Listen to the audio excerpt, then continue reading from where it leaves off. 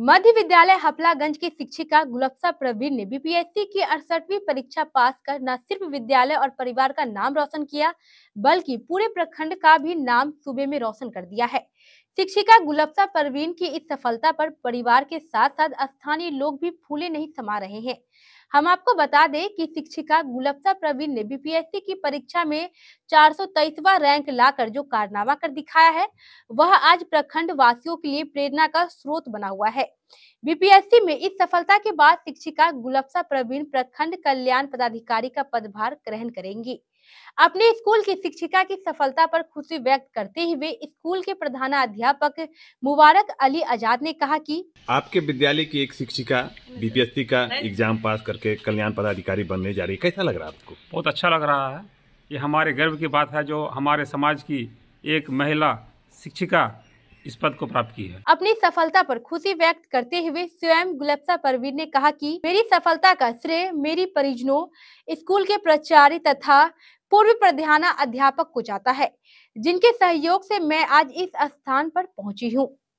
मेरा ये चौथा प्रयास था। मैं लगातार चौसठवीं से ही इस में आना चाह रही थी और मेरी जो ज्वाइनिंग थी पहले 2016 में मध्य विद्यालय हफलागंज में थी और मैं लगातार इसी पद पर रह के मैं प्रयास कर रही थी। सभी शिक्षकों का इसमें बहुत बड़ा योगदान है, जो मेरा सपोर्ट किए। स्पेशली हमारे पूर्व जो एचएम थे राजेश सर जी ने, जो हमेशा हमें प्रवोक किया कि आगे बढ़ते रहिए और लगातार प्रयास करते रहिए, आपको सफलता ज़रूर मिलेगी। बाकी हमारे सभी शिक्षक शिक्षिकाओं ने काफ़ी हेल्प की इस जर्नी को पूरा करने में। मेरे माता पिता मैं मेरे पता पिता का नाम है मोहम्मद मंजूर आलम और मेरा घर शरीफगंज है। और हमेशा माता पिता भाई बहन का ही आशीर्वाद रहा और दुआ रहा जो मैं इस मुकाम पे पहुँच पाई। आपने जो बीपीएससी में जो एग्ज़ाम निकाला है हाँ। आपको कौन सा पद मिल रहा है? चार सौ तेईसवा रैंक मिला है मुझे। पहले तो मुझे लेबर इन्फोर्समेंट ऑफिसर मिला था लेकिन चौबीस घंटा में चेंज करके मुझे एस सी वेलफेयर ऑफिसर के पद पर मुझे पोस्टिंग दी गई है।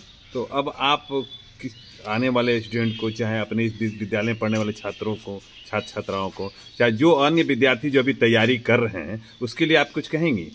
जी करूँगी कहूँगी कि वो जो लगातार प्रयास कर रहे हैं वो लगातार करते रहें हताश ना हो निराश ना हो और लगातार अपनी इस जर्नी को जारी रखें।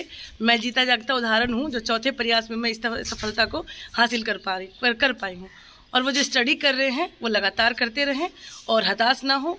और जो टेस्ट सीरीज़ लगा रहे हैं आंसर राइटिंग कर रहे हैं, आगे की तैयारी कर रहे हैं, वो लगातार करते रहे। एक दिन, एक ना एक दिन उनको भी सफलता ज़रूर मिलेगी। अभी मैं मध्य विद्यालय हफलागंज में पदस्थापित हूँ।